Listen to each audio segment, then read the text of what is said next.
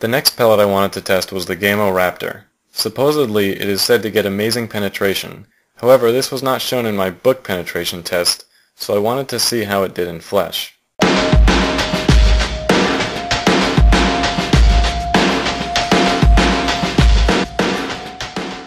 The pellet made an alright cavity for itself upon entering the gel at 1101 feet per second, but unfortunately it made an extreme turn and flew right out of the side of the block, exiting the gel at 8 and 3 quarters inches.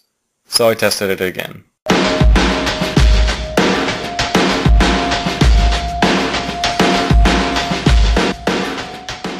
I fired the second Raptor to the left of the first one, but it made the same exact curve, down and right.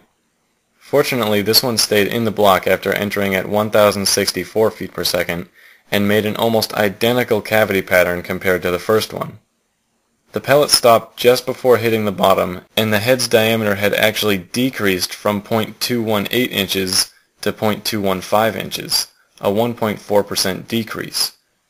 Although it is supposedly known to penetrate farther and better than any other pellet, 11 inches didn't seem like an impossible feat to me. My guess is that the Raptor's incredibly small weight keeps it from having enough momentum to push a very long path through the flesh, as the ballistics gel seems to have slowed it down pretty quickly. This pellet was very baffling to me, traveling an incredibly strange yet repeatable path through the gel and somehow decreasing in diameter. I really just don't know what to conclude about this pellet. Maybe it has better penetration through solid objects.